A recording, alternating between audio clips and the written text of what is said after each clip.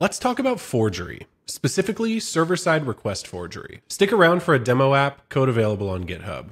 Non trivial applications tend to have an external interface and an internal network, with restrictions to prevent the outside stuff from accessing the inside stuff. Beyond the guarded walls, there may be unprotected services. They're used to living in a safe little bubble and never needed authentication. But what if an attacker managed to get in? Imagine the damage they could do. Anywhere that a user is able to get your server to make a request is a potential attack surface.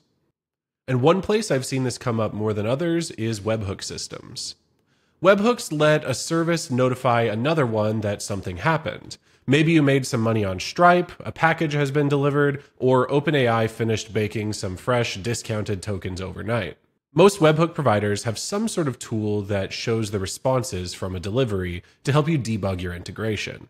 But what if instead of providing an endpoint from your server, you had the requests go to some internal endpoint? The attacker can arrange to make a request they wouldn't otherwise be able to make. This video's demo repo includes two services sitting on a network together. Secret Service listens on port 3030 internally and serves some kind of secret internal data. Here I have it generate a random secret and return that response every single time. And Vulnerable Notifier is a Phoenix Live View application that emits events and allows users to register webhook subscriptions. It sits outside and inside of the network, and I'll show you the attack in a moment. Architecturally, it has a process that emits a message every five seconds. This gets sent to the homepage via PubSub and also schedules a background worker. That worker looks at all the subscriptions and creates a sender job, which does the work of actually performing requests. But as its name suggests, Vulnerable Notifier does not play a strong defense. After running Docker Compose up, I can pull up the service on port 4001. From here, I'll register a listener on a public webhook listener site. I chose webhook.site for this one. So I'll create a subscription. And now, every five seconds, a webhook event should come in. And in the Notifier app's UI, the request shows up with its response to help me debug the receiver, a reasonable enough feature that the product team promised was necessary. But I'm going to abuse the notifier's position in the internal network to have it make a request to the secret server. So if I set this endpoint URL to secret server 3030 and create a subscription, then watch an event come through, I can see the response from that internal service. Notice what just happened. I'm an anonymous user on the internet, but I just read data from a service that has zero authentication because it assumed it would never face external traffic. This could just as easily be a database, an admin panel, or internal APIs with elevated privileges. But it's uncommon to directly control the structure of a server's requests and get it to directly provide data. Even so, any knowledge can be valuable to an attacker. If the request fails, maybe that'll tell you that a certain port is or isn't listening. If it hits a server but comes back with an error, that error status code, response body, or even headers might tell you more about the internals of the application. Sometimes this information about internal services can help you learn about the publicly accessible ones. After all, development teams prefer to standardize on a set of libraries and patterns. So one service behavior may be replicated externally and help you know how to get in. So how do you protect against it? Well, like everything, it depends. Just like any other client supplied inputs, make sure to sanitize and validate. For example, this application doesn't let you pass in an FTP URL.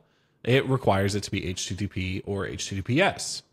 Maybe you can require that all URLs are on the default ports 80 or 443. But you have to go further. A package that I've been using in my Elixir projects is called SafeURL.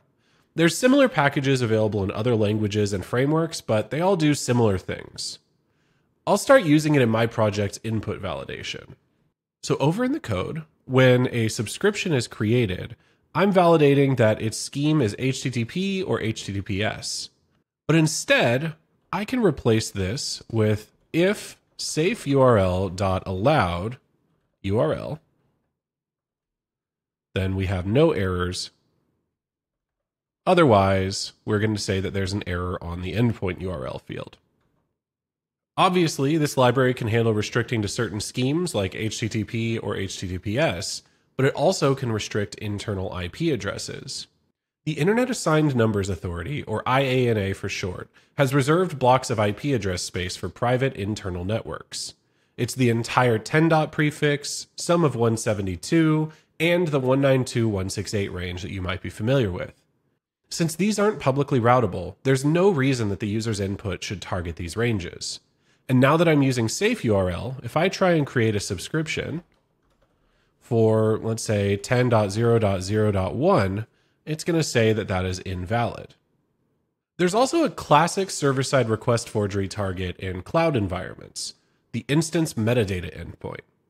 Hosted at 169.254, 169.254, this endpoint is where EC2 instances get their access keys and other data that's supposed to be private.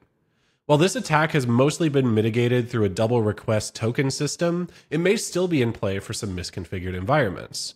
And for this reason, if I copy this URL and paste it into my application, it'll say that that is also not an acceptable URL. But there's nothing keeping an attacker from making a domain they control return an internal IP address. They might set up a DNS record for example.com to return an internal address like 10.1.10.123 or something. So, in response, you might check the record and make sure that it returns something outside of your network. In fact, if I try and create a new webhook subscription for Secret Server, I'll be blocked because Secret Server is an internal Docker host sitting on the 172 network. Packages like SafeURL take care of this by performing a DNS lookup when determining if an address is acceptable. But what if the attacker changes the destination after you check it? This is called DNS rebinding. So here's how it works. Imagine I register a domain, evil.example.com, with a short time to live, maybe a few seconds. When you first validate the URL, my DNS server returns a safe, legitimate, public IP address. Validation passes. But when your server actually makes the request moments later, it does another DNS lookup, and this time my server returns a 10.IP. You validated a safe IP, but requested a dangerous one. Attackers have to be more motivated to pull off this kind of attack, but it's completely doable. For this reason, it's common to perform validation at request time in addition to when a destination is initially configured. Over in the example app, in my sender process, I have a function called validate and send webhook, and it's just looking to make sure the scheme is HTTP or HTTPS. But instead, I can pass this URL into safeurl.allowed, pass in that URL, and now even if an address is allowed at creation time, it's still going to be validated at request time. So if I go into the application now and take a look at secret server that was allowed before and watch the requests go through, well, now this is going to be marked as unsent. And if I check my logs, invalid webhook URL, we prevented the attack. But depending on the way the library performs its lookups, there may still be a possibility of swapping a host out between the validation and the request itself, even inside of a tight function like this. This is why many large scale webhook systems, like the one implemented at Stripe, use dedicated proxy services that are unable to make requests back inside the network. I won't go all the way to setting up the smokescreen proxy in this Docker demo, but you should consider it or something like it if you want to level up your SSRF protection even further. At the end of the day, if you're setting up a service that sends traffic to a user controlled destination, think hard about everything that sender can reach. Don't let that service hit anything it's not supposed to. Segment it in the network with security groups and firewall rules. Send its traffic through a proxy set up authentication mechanisms for internal communication, and don't use those credentials on any call where the URL came from the user. But most importantly, keep on thinking with an attacker mindset. It's a never ending game of measures and countermeasures. And the attacker's advantage means that the defender only has to mess up once to get owned. So don't end up on the wrong side of an SSRF. This has been Code and Stuff. Thanks for watching.